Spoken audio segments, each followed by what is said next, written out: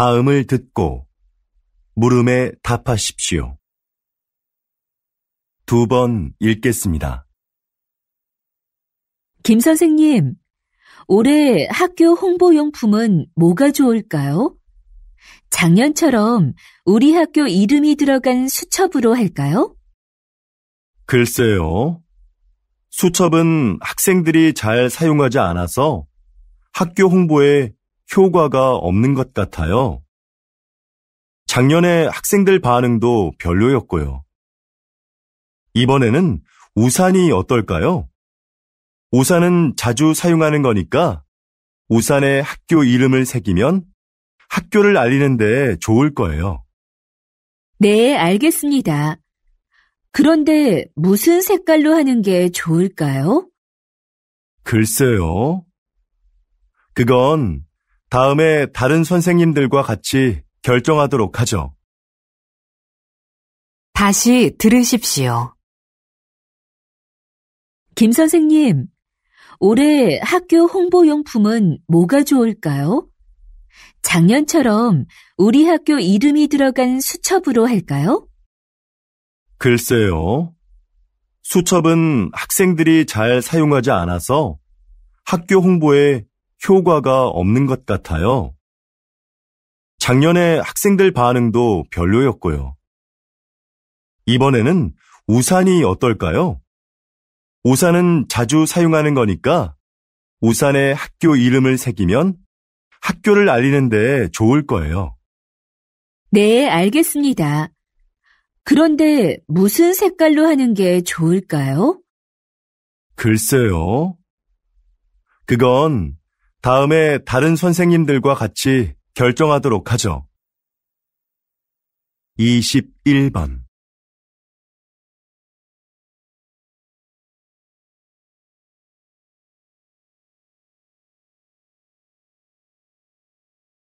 22번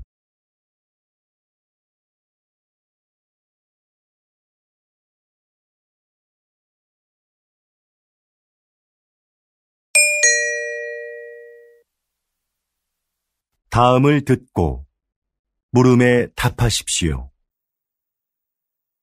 두 번 읽겠습니다. 여보세요? 어린이 박물관이죠? 오늘 2시표 예매했는데요.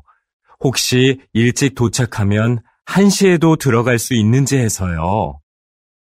네, 안녕하세요. 그러시면 입구에서 2시 관람권은 환불받으시고 1시 관람권을 새로 사시면 됩니다. 네, 알겠습니다. 그런데 혹시 박물관 안에 식사가 가능한 곳이 있나요? 따로 식당은 마련되어 있지 않습니다. 대신 3층에 가족 쉼터가 있는데요. 거기에서 준비해 오신 음식을 드실 수 있습니다. 다시 들으십시오. 여보세요?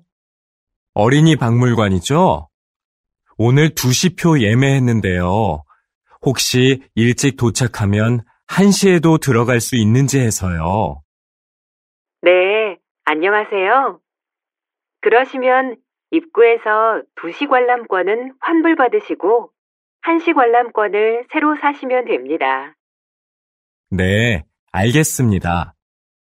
그런데 혹시 박물관 안에 식사가 가능한 곳이 있나요? 따로 식당은 마련되어 있지 않습니다. 대신 3층에 가족 쉼터가 있는데요. 거기에서 준비해 오신 음식을 드실 수 있습니다. 23번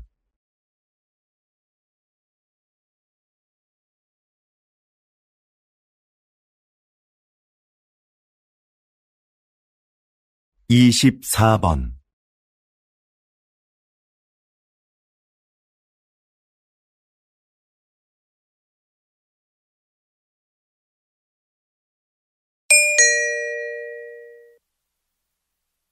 다음을 듣고 물음에 답하십시오. 두 번 읽겠습니다. 사장님께서는 어려운 이웃을 돕고 가난한 학생들을 지원하는 등 훌륭한 일을 많이 하고 계시는데요. 최근에는 시민 영웅상을 만드셨다고 들었습니다. 그게 어떤 상인가요? 네. 우리 주변에는 알려지지 않았지만 사회에 모범이 되는 분들이 있는데요. 그런 분들을 찾아서 상을 드리는 것입니다. 수상자가 원하지 않으면 시상식은 언론에 공개하지 않고 조용하게 진행합니다. 그동안 총 31명의 시민 영웅을 찾아 상장과 상금을 드렸는데요. 상금을 이웃을 위해 다시 기부하는 분도 계셨습니다. 또 화재 현장에서 아이를 구조한 대학생 수상자도 있었는데 졸업 후에 저희가 채용하기도 했습니다. 이렇게 사회로부터 받은 이익을 다시 사회로 돌려주는 것이 기업의 책임이라고 생각합니다. 다시 들으십시오. 사장님께서는 어려운 이웃을 돕고 가난한 학생들을 지원하는 등 훌륭한 일을 많이 하고 계시는데요. 최근에는 시민 영웅상을 만드셨다고 들었습니다. 그게 어떤 상인가요? 네. 우리 주변에는 알려지지 않았지만 사회에 모범이 되는 분들이 있는데요. 그런 분들을 찾아서 상을 드리는 것입니다. 수상자가 원하지 않으면 시상식은 언론에 공개하지 않고 조용하게 진행합니다. 그동안 총 31명의 시민 영웅을 찾아 상장과 상금을 드렸는데요. 상금을 이웃을 위해 다시 기부하는 분도 계셨습니다. 또 화재 현장에서 아이를 구조한 대학생 수상자도 있었는데 졸업 후에 저희가 채용하기도 했습니다. 이렇게 사회로부터 받은 이익을 다시 사회로 돌려주는 것이 기업의 책임이라고 생각합니다. 25번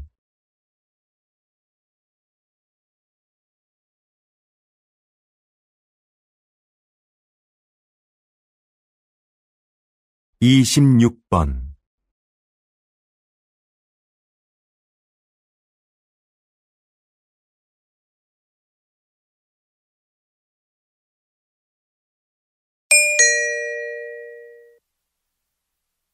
다음을 듣고 물음에 답하십시오. 두 번 읽겠습니다.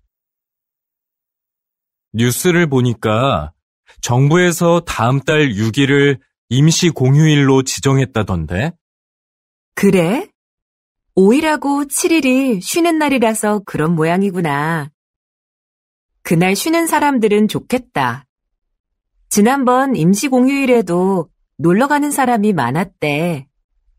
우리 회사도 쉬면 좋을 텐데. 임시 공휴일에는 우리도 쉬어야 하는 거 아냐? 맞아.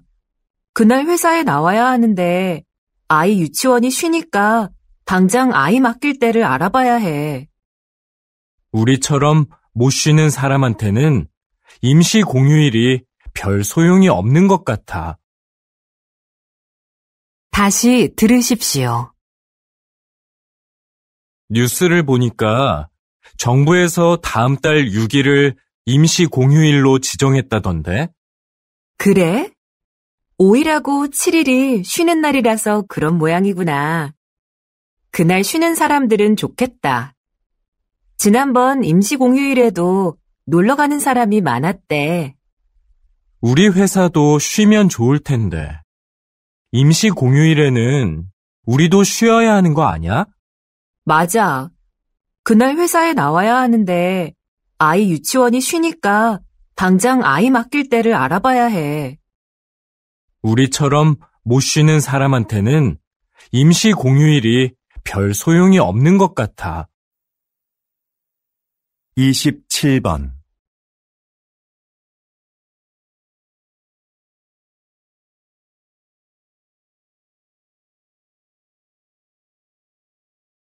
28번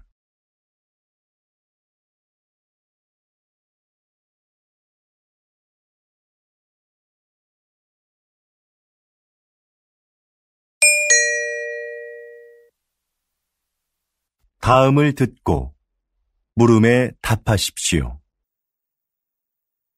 두 번 읽겠습니다. 정원의 꽃들이 참 예쁘네요. 선생님은 여기에서 어떤 일을 하시나요? 이곳은 제가 작년부터 환자들에게 정원 가꾸기를 가르치고 있는 곳인데요. 저는 약을 사용하지 않고 식물을 이용해 그분들의 몸과 마음의 회복을 돕는 활동을 하고 있어요. 식물을 재배하면서 자연스럽게 치료 효과를 얻게 하는 거죠. 구체적으로 어떤 활동을 통해서 치료가 이루어지나요? 정원 가꾸기, 식물 재배하기, 꽃을 이용한 작품 만들기 등의 활동이 대표적인데요. 이런 크고 작은 신체 활동은 운동 능력을 향상시킬 수 있어요. 또한 식물의 향기를 맡으면서 느끼는 기쁨을 치료에 이용하는 것이죠. 정원에서 함께 재배한 식물을 판매함으로써 경제적으로 어려움을 겪고 있는 환자들에게 작은 도움도 드리고 있고요. 다시 들으십시오. 정원의 꽃들이 참 예쁘네요. 선생님은 여기에서 어떤 일을 하시나요? 이곳은 제가 작년부터 환자들에게 정원 가꾸기를 가르치고 있는 곳인데요. 저는 약을 사용하지 않고 식물을 이용해 그분들의 몸과 마음의 회복을 돕는 활동을 하고 있어요. 식물을 재배하면서 자연스럽게 치료 효과를 얻게 하는 거죠. 구체적으로 어떤 활동을 통해서 치료가 이루어지나요? 정원 가꾸기, 식물 재배하기, 꽃을 이용한 작품 만들기 등의 활동이 대표적인데요. 이런 크고 작은 신체 활동은 운동 능력을 향상시킬 수 있어요. 또한 식물의 향기를 맡으면서 느끼는 기쁨을 치료에 이용하는 것이죠. 정원에서 함께 재배한 식물을 판매함으로써 경제적으로 어려움을 겪고 있는 환자들에게 작은 도움도 드리고 있고요. 29번